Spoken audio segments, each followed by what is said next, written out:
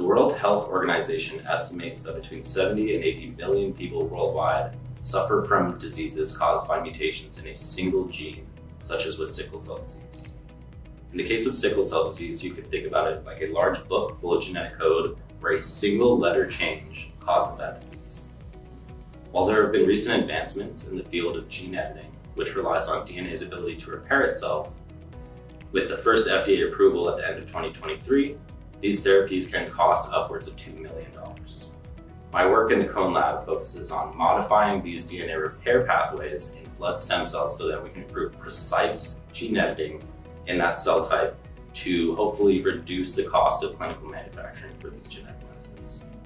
Our lab's work could help improve access and affordability of these life-saving genetic medicines for all.